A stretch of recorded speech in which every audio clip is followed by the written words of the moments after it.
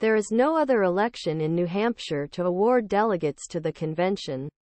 So whether the Democratic National Committee decides to recognize these delegates or not, that's up to them. New Hampshire leaders, both Republicans and Democrats, were unhappy, and they banded together to support state legislation requiring their voters to have the first primary New Hampshire Attorney General Brendan O'Donnell in voter suppression because New Hampshire primary was incompatible with new DNC rules.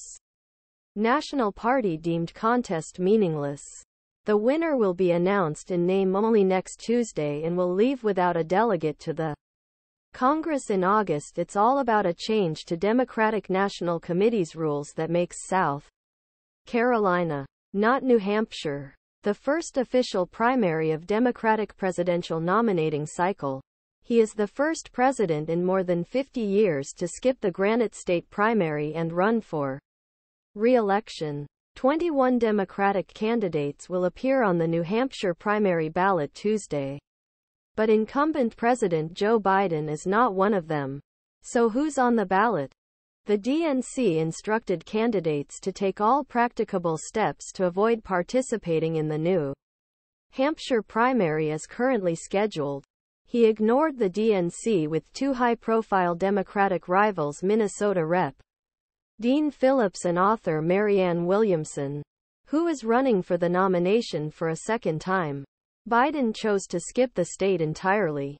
It's really unfortunate and sad that President of United States has chosen not to run in New Hampshire election. Scanlan told NewsHour. The decision not to do so seems trivial. But New Hampshire moves forward with or without it. Could New Hampshire voters vote for Biden? Enter the Ritoff Biden effort. It's a grassroots, mostly volunteer campaign run by the president's supporters in New Hampshire. And it's run on a limited budget. Organizers hope recruit thousands of volunteers to stand outside every polling place in state and tell people how write the president's name on ballot. While high-profile Democrats in and out of state have vocally supported the write-in effort, it has no connection to Biden's official re-election campaign. The goal is simply to give Joe Biden victory. And organizers are lowering expectations for what that victory will look like. A Democrat affiliated with Super PAC told NewsHour win meant he got just one more vote than second place candidate. How do write campaigns work? Writing campaigns can be a logistical nightmare requiring a lot of voter education.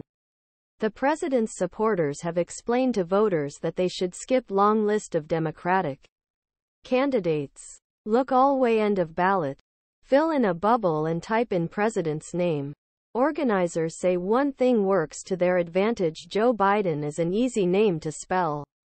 Additionally, the New Hampshire Secretary of State is expected to allow clerical errors to be counted if the voter's intent is clear. Where Biden